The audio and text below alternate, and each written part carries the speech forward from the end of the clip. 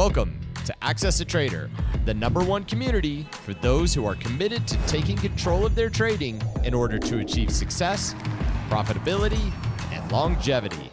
Thank you for joining us. Here's Dan Shapiro to help you find your edge, master your process, and own your future. Hey guys, good evening, everybody. Welcome to uh, a Wednesday edition of uh, the AccessATrader.com uh, nightly update show. Hope everybody is doing well. If you are brand new to the channel, guys, welcome aboard. Thank you very much for spending a couple of minutes with us, talking about market, talk about the individual uh, sentiment plays and all that good jargon that comes uh, with it. Uh, as we talked about last night, if you guys uh, watched last night's video, uh, the the special fall uh, sale for all you guys who are asking wanted to uh, kick the tires uh, in the webinar to see how these pivots play out live right in front of you. Uh, as you can really imagine, you need to see them play out in front of you. Uh, we started last night. We got a good response yesterday. It's going on for one day, uh, one more day, guys. So if you are interested, uh, it's like 47 bucks for the next 30 days. See if pivots are right for you. I always encourage traders to kind of try everything out. Not everything is right for everybody. just like Baskin Robbins, there's 31 flavors. If you haven't tried out pivots or or on the fence, check it out 30 days, see exactly uh, if it's the right fit for you. The link should be uh, below in the comments section. So let's talk about the market. Uh, yesterday, uh, we had a lot of technical damage, right? Uh, we talked about this last night. A lot of stocks got uh, absolutely hit. Microsoft got hit yesterday. Apple that we had, I carried about 25%. Over, oh, excuse me, I'm sorry, we covered about 10% uh, overnight. We covered some more uh, yesterday into the close. Um, everything got hit yesterday. The question was, you know, is the market was the market able to uh, sustain the dead cat bounce today? And for the first hour, hour and a half of the day, the market did absolutely nothing. It was just sitting there. Uh, the, the Nasdaq was up a little bit, the Dow was down a little bit, and it was like, oh, you know, this is a prototypical uh, inside day, which basically means the market doesn't take out the previous day's high. The market doesn't take out the previous day's low. It's just resting. Again, when you, when you have an inside day after a big move down, it's not resting to go higher, it's resting to go lower. And then just the way we talk about every single day, we, we don't trade because the market is open. We trade because we have value. And we were sitting there, sitting there, and then all of a sudden things started to get pulled. And anybody, and if you've been watching this video, this broadcast for a long time, I always say anybody who buys the market the day after a major sell off or a major um, damage that occurs the previous days and they buy it the next morning on a gap up, nine out of 10 times you're buying it back into rising 60 minute supply. And, you know, we talked about it today in the webinar. We've been talking about this for years. Anybody who buys the open on a gap up after technical damage has occurred, you're probably going to lose money at the open. And if you look at the Qs, that's exactly what happened. You know, the Qs gapped up, right? If you look at the Qs, this is a 60 minute view here. Uh, the Qs gapped up, right? They gapped up here. Uh, they gapped up, and then next thing you know, just a violent, violent sell off. We'll talk about the the spike here in a second, and it really did lead to a lot of names confirming the previous day's channels. Uh, Oracle, uh, Oracle got hit. You guys remember yesterday was a great pivot yesterday at 107 on Oracle. Uh, got hit again today. Apple got manhandled uh, got manhandled today again. Once it broke that 73.50 yesterday, that was a big macro pivot. Uh, stock went all the way down to 69.10. There's a lot of names. I mean, really a lot of names after the market got pulled. Uh, Amazon and Google. I mean, everything got really, really aggressive. But the most important part is what the Bulls didn't accomplish today. And that was a big deal. We talked about this uh, last night in the video. After the initial after the initial sell off, and again, it was violent. Uh, this time around, it was violent. Uh, even Tesla got hit. We'll talk about Tesla there in a second. It was a really, really good move in Tesla. But the one thing the market continues to do that we talked about in last night's video, right? It keeps on getting rejected. Even the moves to the upside or potential rallies or snapbacks or dead cat bounces, whatever you want to call it, even those moves continue to get rejected in the orange line. Again, that orange line is the five day. Again, you can see it.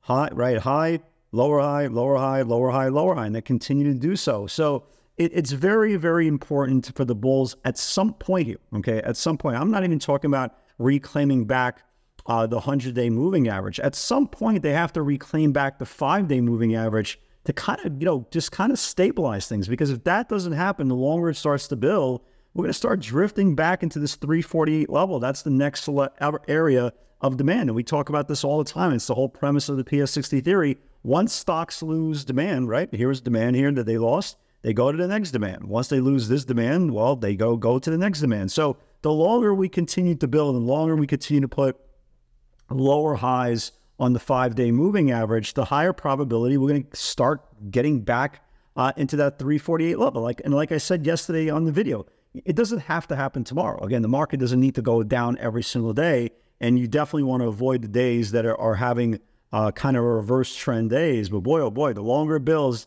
the higher probability the magnet will get pulled uh, and the Qs will start seeing back the 348. So it's very, very important uh, twofolds for the for the bulls to do two things. Uh, number one, reclaim back 357, 358 on the close. What that's going to do is reclaim the five day moving average, and then you start looking at a little bit of a longer time frame. Then you have to start reclaiming back the 62 level that we got rejected back to back days before we swan dive below the 100 day moving average. So the Bulls need, you know, they have a lot of work cut off of them. And considering how crappy uh, technology has been acting, it's going to be a very, very tall chore uh, to kind of accomplish. But again, nothing is impossible, nothing is improbable. But the price action is the judge, jury, uh, and the executioner when it comes to uh, your final opinion, your final process, uh, opinion, and final uh, ways to look at the market. So it's going to be very, very important for tomorrow. We'll get to the pivots in a second. As you can imagine, there wasn't a lot of pivots for the majority of the day just because stocks were just sitting, sitting uh, in, a, in a kind of a, a,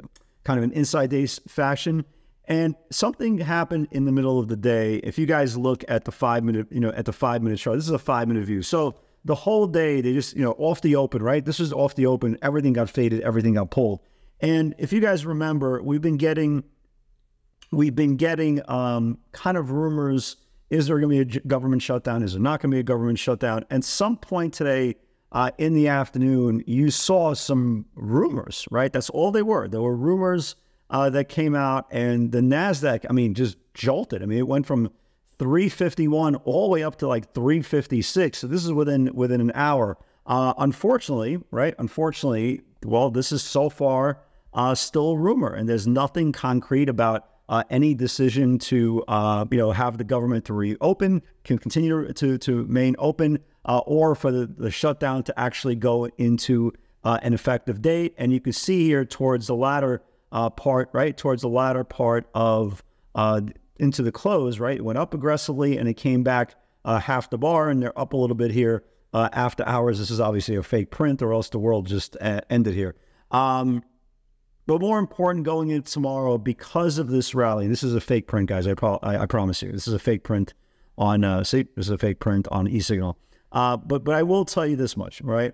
What t- what today did accomplish, or at least didn't accomplish, uh, from the point of reference, is the fact that we did have that rally uh, into the end of the day, or at least close to the end of the day. What happened was all the short setups that we were watching for tomorrow Everything now is in the, in the middle of its ranges, which is not good, uh, which is absolutely not good. So tomorrow is going to be a day that we definitely want to sit back, relax, breathe, and let the price action play out. Okay, because again, to borrow a term from uh, the poker world, tomorrow we are being dealt a two seven offsuit, right? Like for example, Tesla is re- is is literally ten dollars away from an upside pivot and is probably down, you know, it's probably about five dollars away from it from a downside pivot, right? And that's the whole point. Everything's in the middle of their of their action. Tomorrow might be a situation that if we get lucky, and again, we never know what we set alerts for in the past that could wake up and you know do something good. But I would be shocked, right? I would be really, really shocked uh, if we got some really big measure potential move uh, that could potentially give us some, you know, a, a really magnificent move. Again, anything could happen, anything's possible, but I'll be shocked just because the way we closed uh, in the middle of their channel. So let's talk about uh, let's talk about today's pivots. Um, so Apple broke down, right? Apple broke down yesterday, uh, 73.50 key level if it builds below can flush. Uh, here was today's pivot, 71.66 needs to confirm yesterday's channels to break down more. Apple got hit really, really hard. So here, here was yesterday's pivot, the 73.50. Today, here's today's pivot below the 71.66. went all the way down to 69. Just a phenomenal move, really, really phenomenal move. Uh, NET never got to never got to 56 yesterday. Uh, Oracle broke down above 107.30. Uh, below, excuse me, 107.30 today. 104.30 needs to build. Went down another dollar. Uh, PLTR never got there. Uh, Goodyear tires, right? Goodyear tires, folks. Uh, we've been talking about this. Feels like forever, uh, but it's been about two, three weeks. It finally closed below the earnings lows. Keep an eye on this thing. And again, it's not going to be one of those things you have to panic, rush into. But this is the first close below the earnings lows. And, you know, sometimes earnings low plays take two, three, four weeks sometimes to play out. Again, they're not beta stocks. It's not, not going to be like Tesla running all over the place. So it's going to need some time. But if, if this thing starts confirming today's channels tomorrow, uh, Goodyear Tire can continue uh, to go lower. Uh, so same thing as uh, Krispy Kreme donuts, right? Exactly the same play here.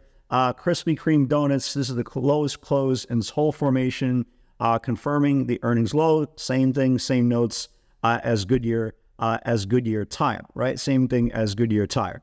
Um, one thing that didn't wasn't great wasn't great today. So if you guys know, I've been holding this earnings low runner. I only had ten percent left of Peloton. Uh, it, you know, I shorted it at 503. Um, it went all the way down to 430. I kept the 10% runner just to see if, you know, it would get below $4. Unfortunately, uh, they just came out with a PR af- after the close. Uh, I think a, a multi-year agreement with uh, Lululemon.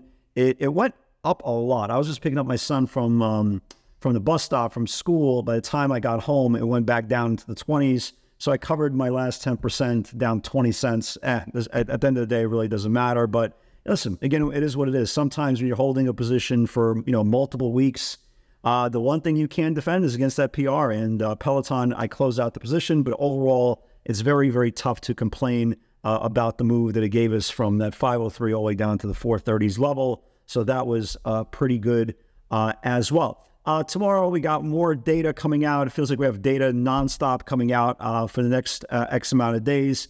But the most important part about tomorrow's session is kind of what we talk about every single day is, you know, you know, look at your charts, right? I, I went through a lot of charts today, tonight after the close, and I tell you, everything's in the middle of the range. I'm not running out tomorrow gung ho uh, to start buying anything or start shorting anything in sight. Tomorrow's one of those days that we say it all the time you have to let the market do the heavy lifting for us tomorrow. Okay. If there is a dead cat bounce tomorrow, let the stocks get to the top of the range. If there's, you know, obviously if we fail, we'll start watching for the bottom range tomorrow. But the point is tomorrow's starting tomorrow's starting up as a very low level type of day. Again, anything's possible. We'll always watch the the option flow market to see if there's heavy betting one way or another. Uh, but more important, uh, more important is one of those situations that we have to be uh, very, very patient. Oh, I totally forgot about. Uh, I totally forgot about the trade, uh, the move of the day. Right? We talked about the move of the day here. Tesla, right? Tesla. Totally, totally forgot about Tesla. I knew I forgot about something. Tesla, 240 initial entry. The big area will be the Monday's 238 low. Needs to confirm. Size buyers came in for the 10 6 230 puts. Tesla was definitely the move of the day. Congratulations for everybody caught it. So it broke the 240, right? It broke the 240. It broke Monday's low of 238 and went all the way down to 234, which is his next rising demand zone. So great job today, guys. Really good action. Really, really good action uh, all around. Again, tomorrow we got to be a little bit more prudent. We got to be a little bit more uh, feasible in our approach. But more important is we have to be adults, right? Again, it's not the market we want sometimes, it's the market we have. And sometimes the market is just there to facilitate buy and sell orders, just like it does uh, every single day. And it doesn't care what we think or we want to have uh, done. Guys, have a brilliant, brilliant evening. Have a wonderful rest. Uh, God's help. I'll see you all tomorrow. Just uh, a reminder uh, there is no video tomorrow. Thursday is my normal night off. But again, if you are planning to join, guys, again, take advantage. You have one day left uh, take advantage of uh, the $47, uh, $47 trial to see if pivots are right for you. Again, it's, it's super, super important uh, to figure out where you fit in this market. If you're an options trader, equities trader, Forex, Bitcoin, e-minis, whatever the case may be, but try everything before you make a determination of where you want to see your career go. Guys, God bless everybody. I will see you all soon. Take care.